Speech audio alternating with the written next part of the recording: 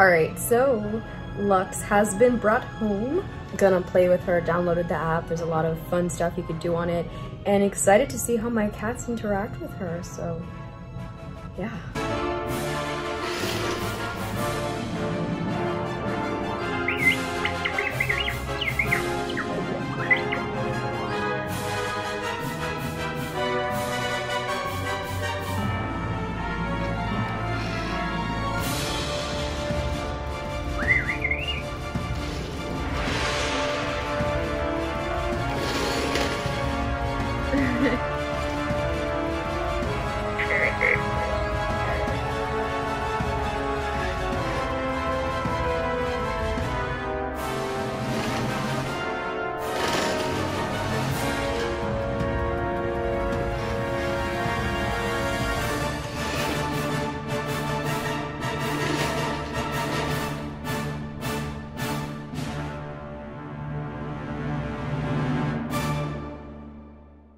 Yeah, my cat is not feeling it.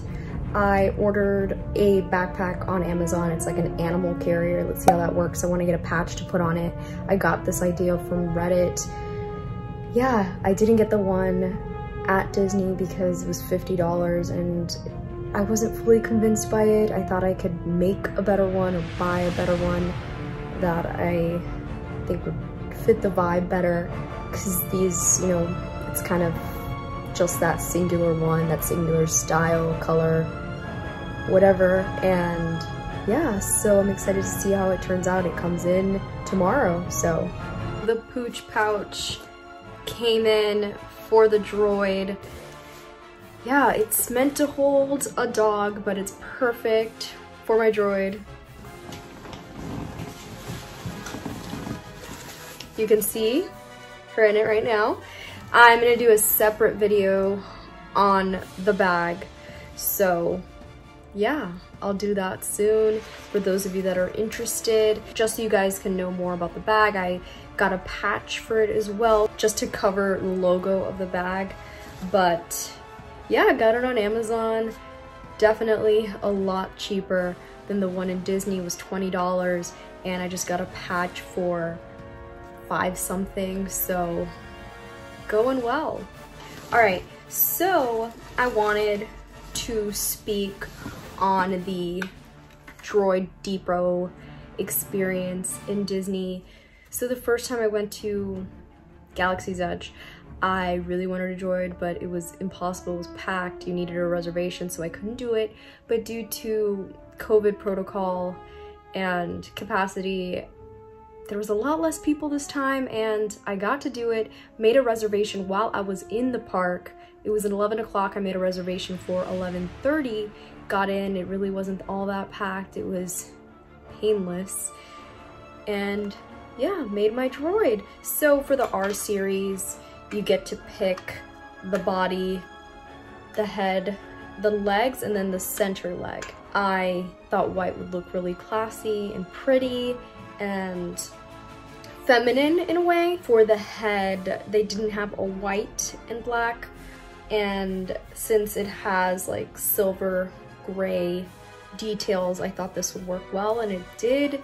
There was a kid next to me doing a white and red one, and that one looked really pretty. So there's definitely options. It just depends on what you want. It was easy, it was a cute, experience, picked out the parts. It was like a conveyor belt type thing. Picked out the parts, put it in a bin, and then went to assemble it. There's someone that helps you do it. And yeah, then you pick all the little details. Of course, I, I did it in black so it would stand out against the white. You can do it in white as well or in any other color that you want. So yeah, I think it turned out really nice. I can't wait to play with her more and use the app and get my cats accustomed to her. Maybe they'll play along and it'll be all good and dandy.